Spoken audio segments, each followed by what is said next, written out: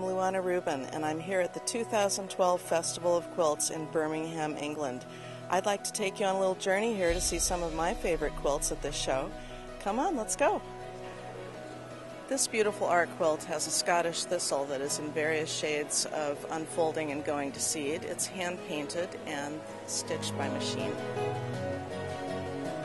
This beautiful large quilt has whirling and twirling uh, patterns of color, and it's called the Snake Goddess.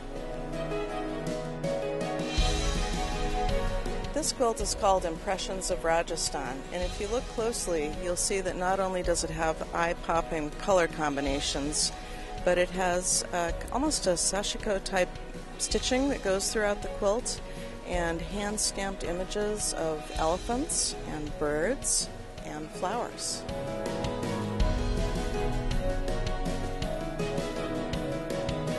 This piece is not so much a quilt as an experience. I feel like I've gone into a shop in uh, Harry Potter.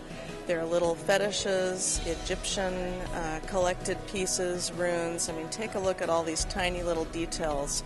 It's like walking into a closet full of trinkets that somebody's been collecting for 50 years. I love the large full scale figure too. This larger than life piece is called Between the Sheets and it's full of mysterious layers and secrets. I would call this more fiber art than quilt, which is a good thing because if you take a close look here, there is such an interesting collage going on in the border. And then we have the frayed edges of the uh, linen background, buttons, beads, and then in the center uh, almost looks like strips of copper, but it's really a specialized metallic yarn and the yarns have all been woven together and then stitched together. It's so creative, such an innovative use of color and texture. This very interesting 3D textural piece is called Lichen, and it's using crochet and stitching and yarns to create a very organic form and layers and layers of uh, very natural looking details. Here's a piece that's attracted a lot of attention at the show. I've watched people coming by and saying, wow, look at those colors. It's called Hyde Park 1973, and I guess it's a post psychedelic piece. This piece reminds me of one of the top winning quilts at the Tokyo Quilt Festival this year. It has swirls of hand painted, glittering, iridescent fish on kind of a tie dyed background with lots of metallic stitching on top. This piece is called Three Indian Women, and it has a very intimate feel as if you're following behind these three women and you might catch a conversation in the next few moments. The bright colors really pull you in, but when you get close, you see that there's lots of detail in the background, there's layers of text and stitching and analogous colors. Very beautiful. This is a dreamy, evocative triptych called A Sad Tales for Winter and it shows very abstract figures walking on the beach, and you really have a sense of just being out on the coast on a winter's day. This is Julia's Venetian traveling quilt. It's very charming. It has a quality like a sketchbook, a travel sketchbook. And take a close look at the linen applique and the uh, very loose thread painting and the outline of the figures.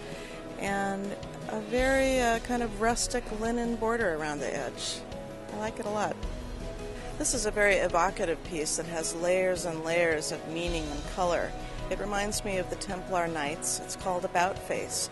And if you look closely, the eyes are very realistic, and there's a lace applique that goes over the whole figure. I love looking closely at this Eastern themed quilt, which is called Tara. Take a look at all the beautiful, rich, deep, saturated hand dyes, the feathery, multicolor free motion quilting, and look at the basket weave or lattice work of ribbon that holds the two parts of the quilt together. The figure is multicolor and very balanced and symmetrical, and uh, there's just a lot of symmetry and balance and peace in this beautiful quilt. This piece is very innovative. It has many shades of gray, maybe even 50 shades of gray. It has strips and it's woven and looped and then hand stitched loosely on top. And I would say it's very contemporary, and I'm happy to see it here. It's so different.